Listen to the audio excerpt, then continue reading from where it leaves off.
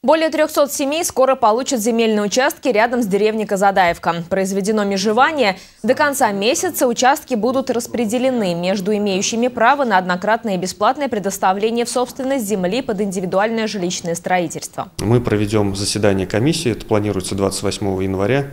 Э, это будет заседание комиссии по вопросу предварительного распределения земель для льготников.